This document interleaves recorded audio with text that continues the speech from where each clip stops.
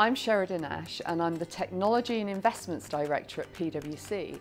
And the key thing that I do every day in that role is I look at our strategy around how we use technology with our clients.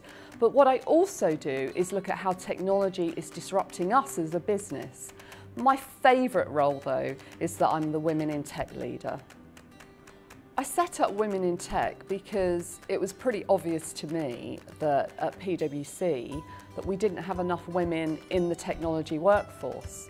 Um, and I felt this was something that we needed to address and tackle.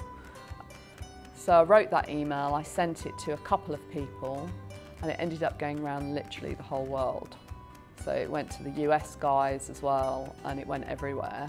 And that's how it started. So once I'd sort of put myself and my opinions forward, it, it went from there and built a sort of small team. To raise the profile of this issue, earlier this year we held two events at the Science Museum. And the first event in particular was so exciting. We got 80 schoolgirls in and we, we had them in there for the whole day and we did lots of things with them to inspire them to get into technology.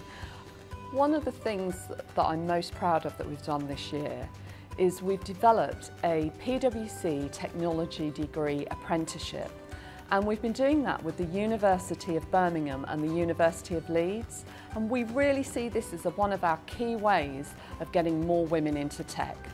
I really do want to make a difference and I believe you can only do that by working together across businesses, across industry, with government and with educators.